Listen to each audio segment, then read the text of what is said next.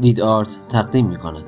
ابراهیم گلستان با نام اصلی سید ابراهیم تقوی شیرازی در 26 مهر سال 1301 در شیراز متولد شد. این کارگردان داستان نویس، مترجم، روزنامه‌نگار و عکاس ایرانی اولین فرزند سید محمد تقی گلستان روزنامه‌نگار شیرازی و صاحب روزنامه گلستانه. برای همین از همون آغاز زندگی با ادبیات آشنا شد و خو گرفت. گلستان تحصیلات متوسطه رو توی دبیرستان شاهپور شیراز انجام داد و در سال 1320 برای تحصیل در رشته حقوق وارد دانشکده حقوق تهران شد. در دوره دانشجویی به عضویت حزب توده در اومد و درس و تحصیل رو نیمه کار رها کرد.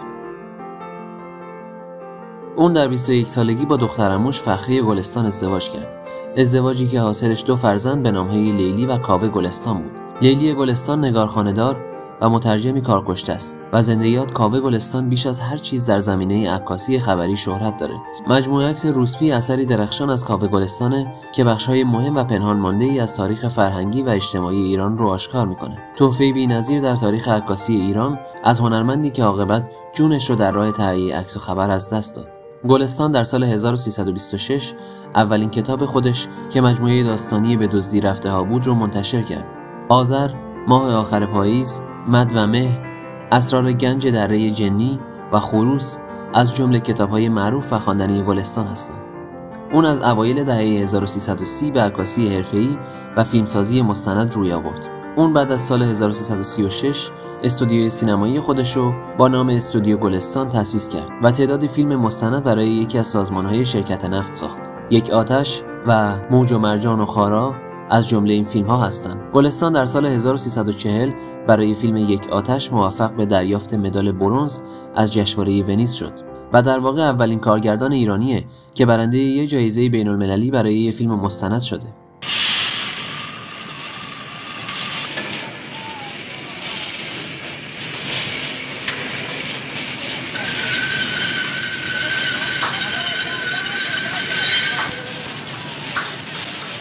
Suddenly a spark flew.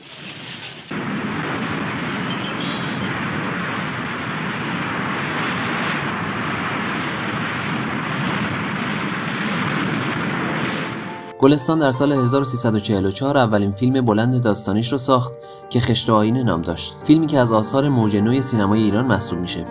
فیلمی مملو از سمبل و نشانه که بعد از گذشت 55 سال از ساختنش همچنان خاص و تاثیرگذاره پولمو بدمو دزدید. رو ناموسم لکه ننگ گذاشت. از بالغت انداخت ترس گفت نفس میشی می‌کشم. با لگت تو سرم. احالا چش این خونخوار بلا. این ظالمی بینم این بی انصاف بچه من هم من آخ بچه من. آخ عزیز من. اسرار گنج دره جنی دومین و آخرین فیلم سینمایی گلستانه. فیلمی که اگرچه با بازیگران سینمای عامه پسند ساخته شد اما کنایه های فراوانی به روند نوگرایی سطحی و سیاست های اشتباه حکومت پهلوی داشت.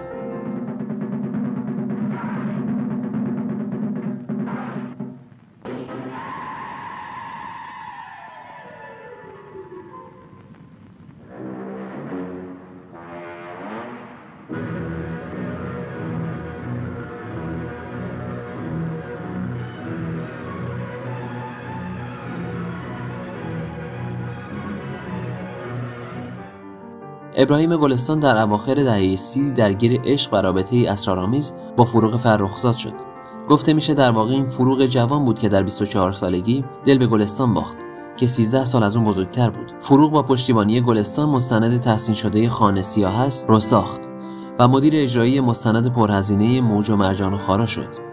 مرا آفریدی تو را شکر می‌گویم که مادر دیسوز و پدر مهربانی مرا آفریده تو را شکر می‌گویم چه آب روان و درختان پر میوه را آفریده تو را شکر می‌کنم که به من دست داده تا کار کنم.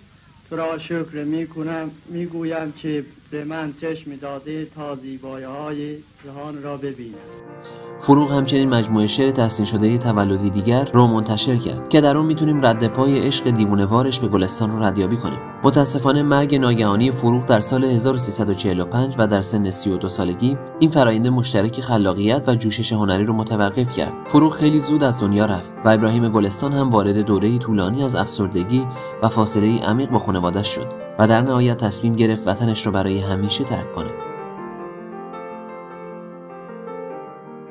صفحه ما رو در اینستاگرام دنبال کنید.